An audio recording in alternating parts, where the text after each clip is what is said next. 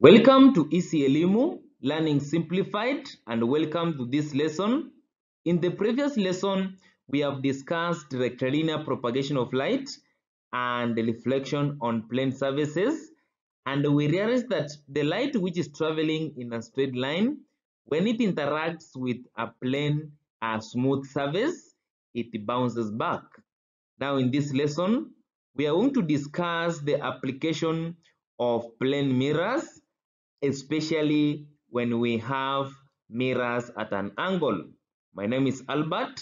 I hope you will enjoy the lesson. By the end of this lesson, I expect you to be able to describe how a periscope uses the idea of plane mirrors, especially in the reflection on plane mirrors in its working and then explain how some of the instrument we use in physics laboratory uses the idea of plane mirrors to reduce parallax error, especially when we are reading the scale. And then finally explain how a kaleidoscope works. So the first application of plane mirrors is in the working of a periscope and a periscope is an instrument which is used to view objects over obstacles. So let's say we have our obstacle like that. Let's say this is a hill and this hill is in this case our obstacle. And now remember this obstacle or a hill it's opaque and you cannot see through it. So if we have an eye at this point here, let's say we have an eye there, this is the eye of a person, and they want to observe an object which is at this point of this hill, and at this point here, is our object. So for this person to see that object, then it means, as we said, for you to see, light must travel from the object to your eye. So it means light must travel in a straight line from the object to that eye like that. And so if this person has to see it, then this uh, obstacle all this hill must be transparent. So if it's not transparent, then it means this rays cannot travel over that obstacle like that. Then we need another way in which we can divert or con control those rays to reach the eye of that person. And then the only instrument which can do that is a periscope. So a periscope contains two mirrors which are positioned at an angle of 45 degrees to each other. And then these mirrors now, they are positioned in a way that rays from the object will be reflected to the first mirror. Then the first mirror will reflect the ray to the second mirror at an angle of 12 degrees. And then the angle or, or the, the second mirror now will reflect the light to the eye. So if we can sketch the diagram of um, a periscope, then you need a hollow tube. This hollow tube must be forming 90 degrees at the corners. So if you have that part as your upper part of the hollow tube, then now here you need the second part like that. Then you need this one also like that.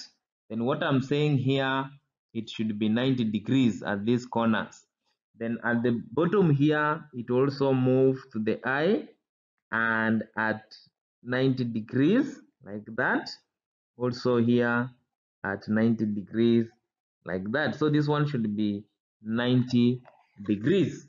And now you need two mirrors which are at 45 degrees to each other. So you have one mirror there, then the other mirror down there like that and then these mirrors as we have said this mirror one this mirror two now the reflecting surface should face each other like this. So this is the painted part. Reflecting surface is on the inner part. Then here we have 45 degrees. 45 degrees. Remember this triangle 45 plus 45 plus 90 is 180 is also 45 degrees. 45 degrees. Now if we have a ray from the tip of the object this ray will come in a straight line to the first mirror like that. Let me draw it better. Remember to use a ruler. So it will come to the uh, first mirror like that. Then when it hits the first mirror like that the first mirror remember the angle of incidence will be 45 angle of reflection will also be 45 so it will turn by an angle of 90 degrees. And if it turns at an angle of 90 degrees then it will, it will get reflected to the bottom part of this uh, mirror like that. So this one will be reflected like this from the first mirror to the second mirror like that. Now when it reaches this part here the angle of incidence will also be 45 then angle of reflection 45 then it will get now reflected to the eye like that. Then the second uh, ray from the uh, tip or the, the, from the tail of this object will also move to the mirror in a straight line like that. Then it will hit at an angle of 45 get reflected uh, with the angle of reflection of 45 therefore it will turn at 90 the second mirror like that.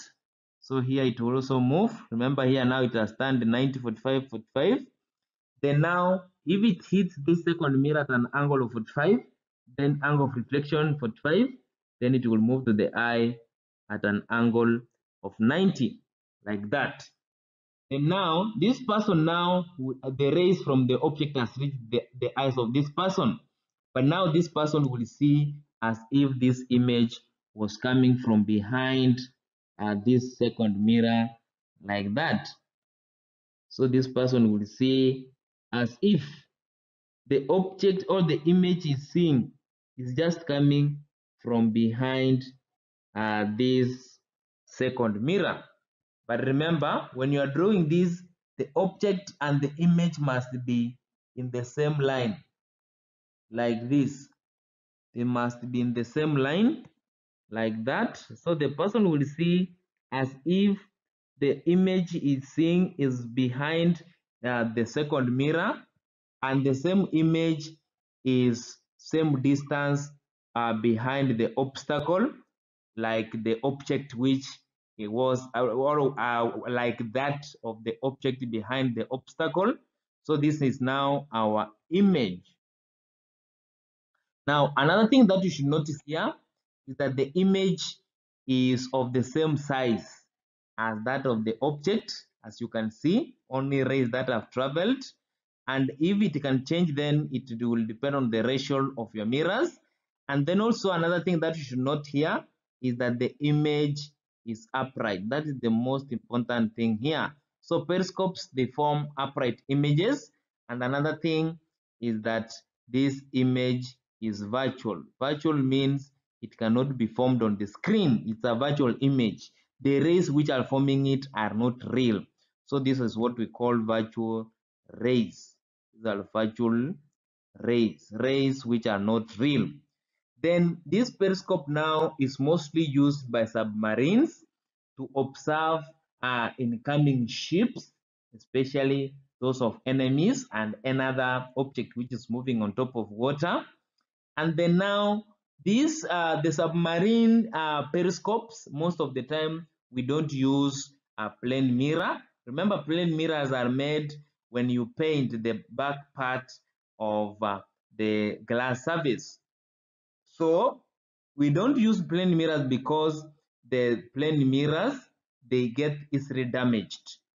The plane mirror mirrors can get easily damaged so we use what we call prism. We're going to discuss prism periscopes where we're going to use the idea of total internal reflection. So these rays will be turning at an angle of 45 but it's not because of reflection using plane mirrors but total internal reflection an idea we will discuss in form 3 on refraction. Then if you have a thick mirror thick mirrors produce multiple images. If you have a thick mirror thick mirrors always produce multiple images and if you have multiple images remember what we said if you have two or more images on the same uh, point then it means it will be blurred the image will be blurred and large.